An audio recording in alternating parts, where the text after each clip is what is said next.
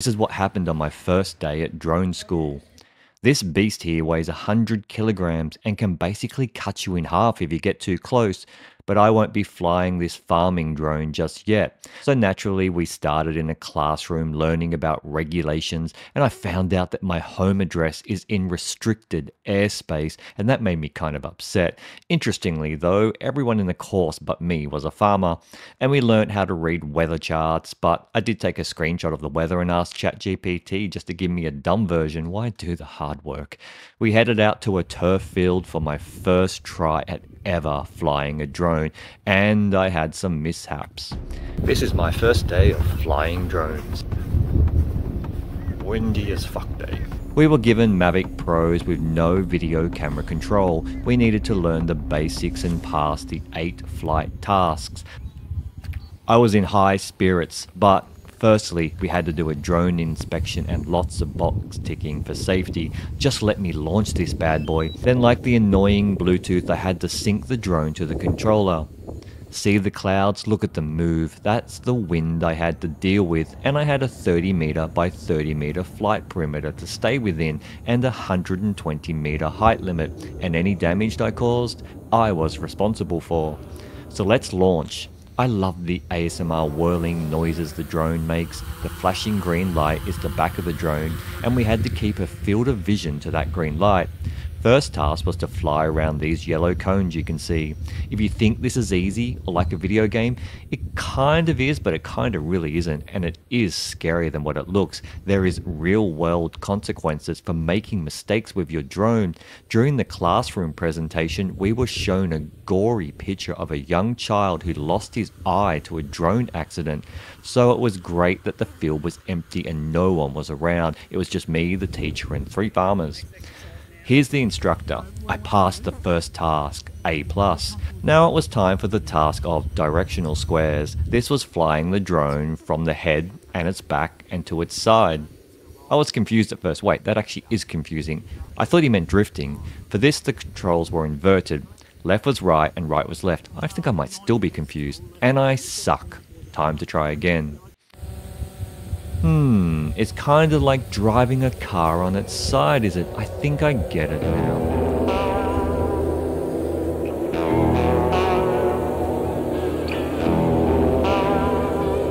Time to practice, but I was starting to really worry about birds that I saw nearby. Apparently, ospreys attack drones and destroy them, and if a bird of prey comes after us, we need to fly and outmaneuver the bird, or lose our drone to it. But if a magpie attacks, we are to fly higher than the magpie bird, as magpies attack by dive bombing, and crows, which I have a lot at home, apparently they are just too lazy to care about your drone. I practiced and passed, but I wasn't steady enough in my movement. The wind was really starting to get annoying and throw my drone around like turbulence on an aeroplane, so the teacher came over and explained how I could better manage the drone in the wind with lots of inertia talk. Flying with gentler movements on the pad and better dexterity was what I needed. Can you hear the wind though? It's literally blowing my drone all over the place. First time ever flying a drone and I get stuck in a cyclone.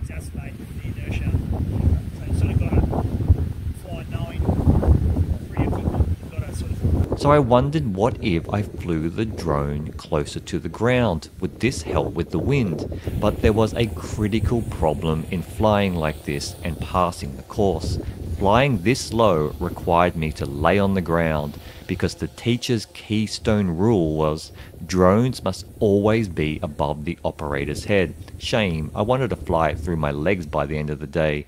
So I was really starting to get the hang of ground flying by lying on the ground until the drone wanted to come take a closer look at me, maybe because I was lying down, like why was I? Probably never seen it before.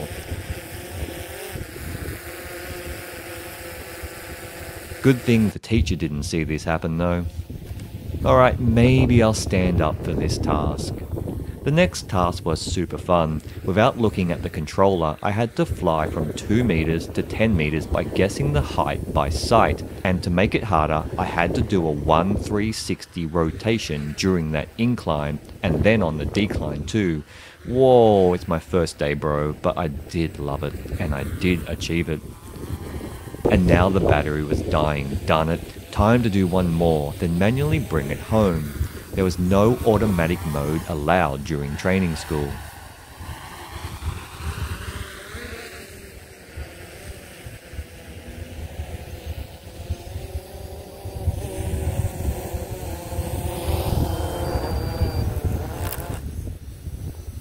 I had a new battery and I had fresh legs. Time to practice it again. 2 meters to 12 meters now. It's actually amazing how high they can go, and 120 meters by law, 45 meters if you're near an airport, that is so high. So the 45 meter rule near an airport, my drone is not under 245 grams, which is what you need to fly near an airport. So I guess I need to put my drone on a diet before I take mine for a spin at home. I'm doing this by switching around the batteries.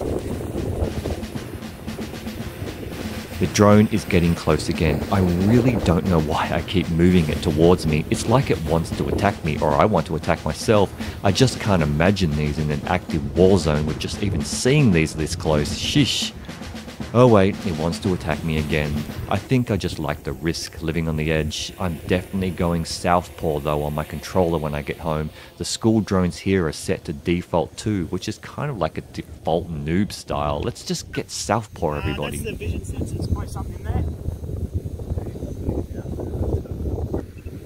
And I swear I didn't cause it, but my drone had an error. Obstacle alert, obstacle alert, it kept saying. So the teacher came over to fix it, something to do with the vision sensors, but he also put it into sports mode for me. Wow, I love this sports mode. Yeah, it's good, eh? Yeah.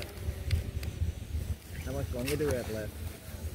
Well, one more battery after this. Okay. I love sports mode. It's more sensitive, but you have greater flexibility in your drone's movement. Oh yes, I can roll. Time to roll and drift.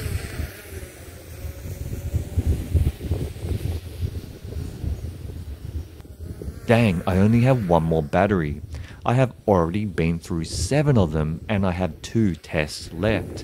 Next test though was to learn to drift and roll on corners. Moment of truth. We're going to go to figure eight. Let's figure out how to do this 8. It's not as easy as what it sounds or looks on like other things because it's really hard to see and make the loops small from a distance and I almost hit myself again, the loops were too big.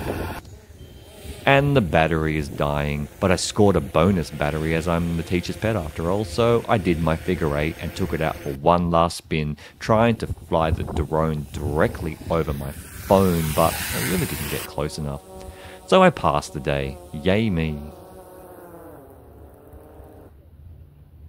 Picking up codes after drone flying. Not very fun. The worst part. Flying drones in this wind was crazy.